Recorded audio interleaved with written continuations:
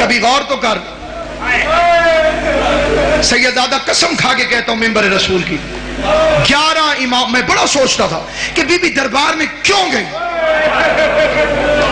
ये एक सवाल था बचपन से मेरे जहन इतना बड़ा पर्दा, इतनी बड़ी मखदूमा, दुख्तर रसूल, गैरत अली। दरबार का मतलब छोटे बच्चों को समझ नहीं आएगा, कचहरी में गई। मैंने कई बंदे अपनी आँखों से देखे। वो कहते हैं, जनाब, फुला ज़मीन है तो मेरी, लेकिन क्या करूँ? बेटी के नाम है। मैं कचहरी नहीं जाना चाहता। ये इस दौर की बात कर रहा हूँ।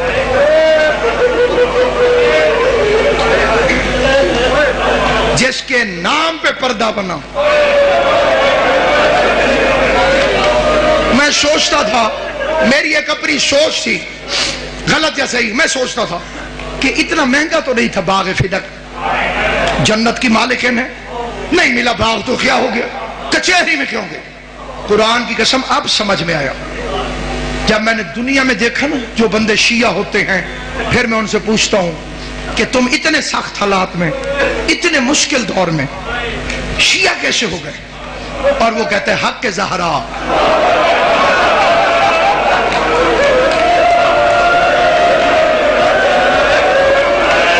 रसूल की बेटी का हक। बाबा एहतशाम शाह जी, फिर पता चलता है ग्यारह इमामों की मेहनत एक तरफ़ जहरा के चार घंटे की मेहनत है एक तरफ़। वो तेरे मेरे लिए दरबार में गई थी।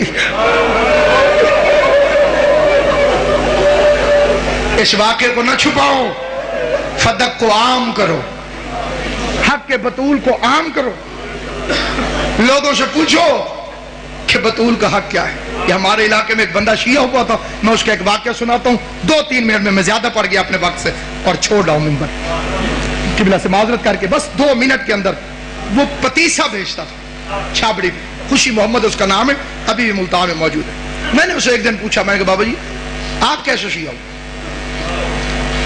उसे कहा, मैं फेरी लगाता था गाँव देहातों में फेर के ना पतीसा बेचो जहाँ रश देखना, खुशी गमी का वहाँ खड़े हो जाना। बच्चे आने मैंने फरोख कहते, एक मजलिस के बाहर रश देख के मैं खड़ा हो गया पतीसा लगा के। एक बच्चा आया। उस बच्चे ने पतीसा मांगा। मैंने उसे पतीसा दिया। अब पतीसा वो कहते हैं कि ऐसे अखबार में मेरे हाथ में, कागज़ के अंदर। और बच्चे की जेबें ज़्यादा थी। जब अल्लाह फाजिल करे वो बच्चा ढूँढने लग गया। आमतौर पे बच्चों के साथ हो जाता है कि इस जेब में पैसे हैं, इस जेब में इधर, उधर, वो ढूँढने लगे कहते जितनी देर उसने पैसे ढूंढे, मेरे कान में जाकिर की आवाज़ आई कि बतूल दरबार में गई।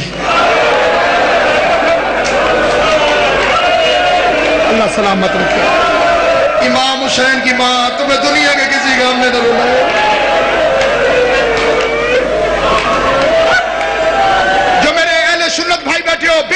बेशक न लेकिन जरा तवज्जो करके सुनो। सैयदा दरबार में गई और खाली वापस आ वो कहते, मेरे हाथ से वो पतीसा छूट गया। मैंने बच्चे से पैसे नहीं लिए। मैं छापड़ी उठा के चल पड़ा। अब ये बेन ही उसके फ़िक्र हैं। कहते, मैं शियों को जाकरों को गालियाँ देता हुआ जा रहा, दिल में, कि बड़े झूठे, वो रसूल का सहाबी वो रसूल की बेटी। कैसे हो सकता है कि बीबी जाए और वो खाली भेज दे? कहते, फिर मेरे दिमाग में ऐसे ब्रेक लगी कि अगर ये झूठ है तो ये स्पीकर पे क्यों कह रहा इसे किसी मोहल्ले के मौलवी ने आके टोका क्यों नहीं? कहते, मैंने फिर गौर किया तो वो कह रहा था कि सही बुखारी में लिखा हुआ मैंने कहा, ये तो हमारी किताब है। तो सही बुखारी को इतनी बड़ी तो नहीं, उसमें होगी तो हमारे मौलियों को पता होगा। कहते, मैं बड़ा परेशान घर आ गया। बड़ा लंबा वाक्य मुख्तसर कर कहते, घर आया, हाथ मुँह धोया, खाना खाने बैठा, पहला लुकमा खाया, गले में फंस।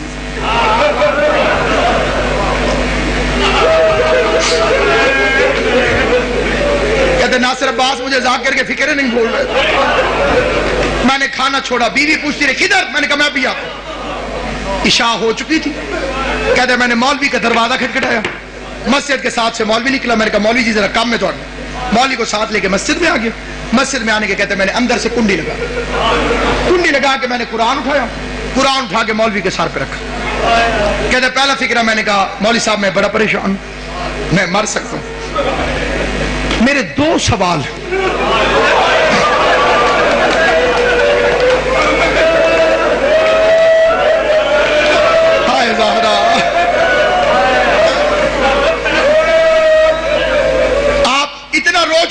चुके एक मजलिस के लिए बहुत ज़्यादा है। मेरी औकात से ज़्यादा।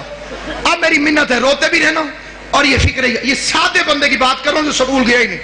कहते मेरे दो सवाल मैं पढ़ा लिखा नहीं हूँ मैं किताबें नहीं पढ़ा हुआ मैं मौलवी नहीं हूँ मैं स्कूल नहीं गया। मैं सादा आदमी हूँ।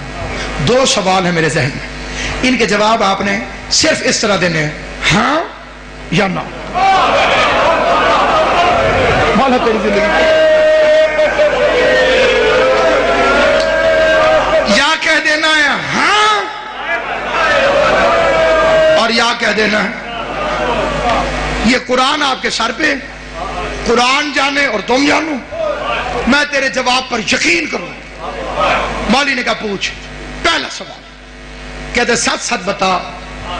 नबी करीम के दुनिया से जाने के बाद हज़रत बीबी खातून जन्नत, फातिमा तो जहरा, दरबार में हक मांगने गई थी।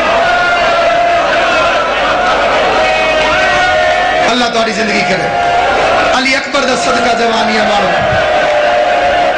पाक मोहम्मद मुस्तफ़ा, मेरी तुम्हारी परेशानियाँ दूर करे।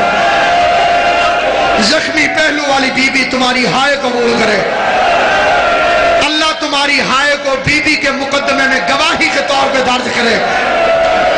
क्या पाक खातून जन्नत नबी करीम के दुनिया से जाने के बाद बा मुजफ्फर शाह जी दरबार में हक मांगने गई थी? मौलवी ने जल्दी जल्दी कुरान सर से हटाया। कुरान सर से हटा के कहते, खुशी मोहम्मद, तुझे किसी शिया ने कहा? कहते, मैंने कुरान वापस रखे कहा, मैं शियों की बेटी का तो नहीं पूछ रहा। मैंने तो तुझसे मोहम्मद मुस्तफ़ा की बेटी का पूछा। तू शियों की बेटी का हो तो जवाब न दे, मामला नबी की बेटी का है तो जवाब दे।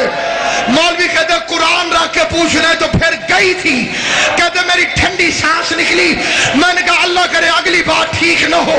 मैंने फिर कुरान रख कहा, आखिरी सवाल, खाली वापस आई या हक ले?